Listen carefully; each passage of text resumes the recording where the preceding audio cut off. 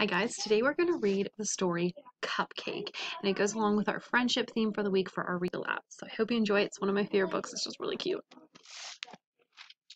Alright, so this is Cupcake, A Journey to Special.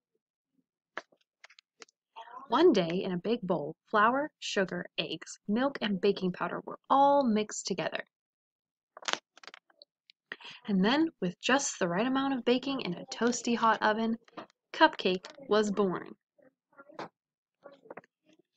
After a special coat of icing, vanilla cupcake was creamy white, perfectly plain, and most certainly delicious. Being a friendly sort of cupcake, he quickly introduced himself to all his new brothers and sisters. Hi! There was Happy Face Cupcake, a smile a day makes the blues go away. Chocolatey Chocolate Cupcake, it's chockerific to meet you. Pink Princess Cupcake, charmed, I'm sure. Rainbow Sprinkles Cupcake, hi, hi, hi, hi, hi, hi, hi, hi. Stripy Cupcake, salutations. Fancy Flower Top Cupcake, bonjour, that's French. Polka Dot Cupcake, Heidi, Heidi, Heidi, ho. Cupcake felt special to be part of such a large and colorful family. This is the best day ever. But by the end of the day, Cupcake wasn't feeling very special anymore. He was sitting on the plate all alone. Nobody picked me. I'm too creamy, white, and plain. A candle that was close by heard Cupcake crying and hopped over. What's wrong? I'm just vanilla. I'm not fancy. I'm just plain and white and ordinary. I know how you feel, said Candle. And then he told Cupcake all about his fancy brothers and sisters. Let's see.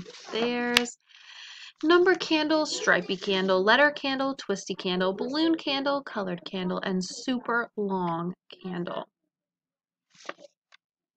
Now both Cupcake and Candle, Candle were feeling sad. That is, until Candle had a big idea. Hey, you just need a special topping. You're right, said Cupcake. Candle hopped off to find the something special. Wow, he is so bright. This is going to be great. Candle had all sorts of suggestions. Pickles. Too salty, said Cupcake. Spaghetti. Too swirly. Pancakes? An egg? Peas? How about smelly cheese? And then, a squirrel! Ugh, too furry. I'm sorry, said Candle. I really thought we'd find something special. Is he gone? He's gone. Look, said Candle. What's that? Where? Where? Up there on your head. There's something in here, said Candle. Pesky squirrel. It's a nut. Get it out! Get it out! There! Yay! Wait! I've got it! said Candle. What do you think he's going to say?